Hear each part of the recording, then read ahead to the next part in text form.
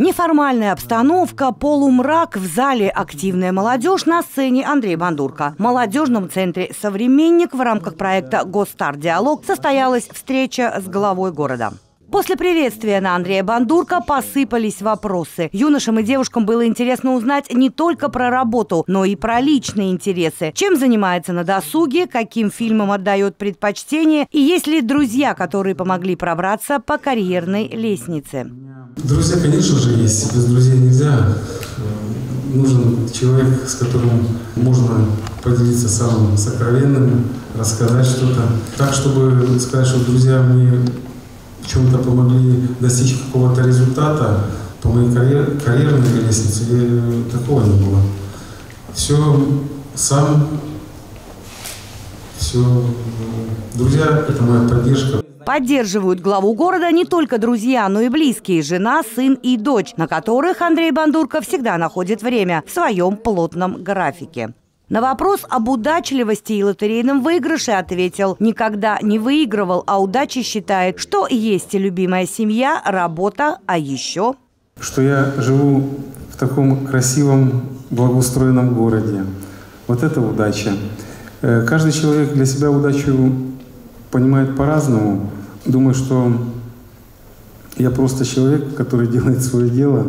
А дело, которое делает Андрей Бандурка, большое. Глава руководит развитием города, принимает решения в соответствии с законом, участвует в работе муниципальных органов. Он должен быть высококвалифицирован, понимать принципы управления, общественной ответственности и уметь находить конструктивные решения на благо горожан.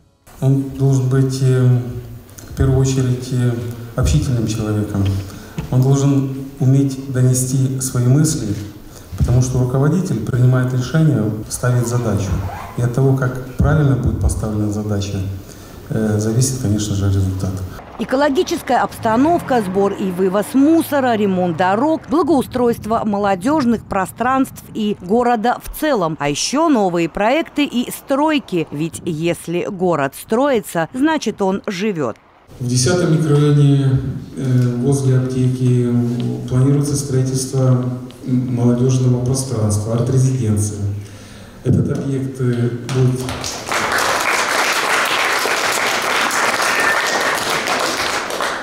Да, этот объект будет построен при поддержке нашего губернатора Дмитрия Андреевича Артюхова.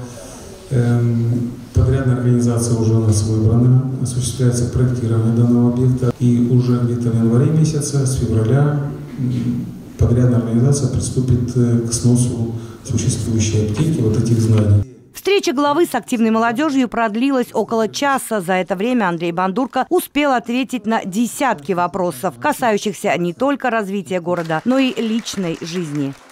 Ответы они очень интересные, и особенно вопросы тоже довольно креативные. Правда, интересно было очень. Я даже хочу вторую встречу. А, вопросов еще осталось очень много, не озвучила все.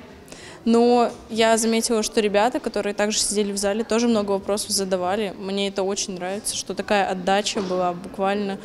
Каждый вопрос был очень интересный и воодушевляющий. Гостарт, диалог – это прекрасный проект, который помогает, на самом деле, молодым людям познакомиться поближе а не только и столько структур органов власти, но столько с людьми, в первую очередь, которые власти, посмотреть, что это а, не просто какой-то костюм и галстук, что на самом деле за всей этой работой это кроется человек, у которого есть душа и сердце, которое заботится и о городе, и о наших горожанах. Эта встреча третья по счету и последняя в этом году. Гостар-диалог – профориентационный федеральный проект. Он ориентирован на знакомство молодежи и студентов с государственной и муниципальной службой через встречи с руководителями. Для молодых людей это отличная возможность получить новые навыки и компетенции, которые помогут построить карьеру на госслужбе и не только. Елена Канина, Денис Гонцов. Новости Губкинского.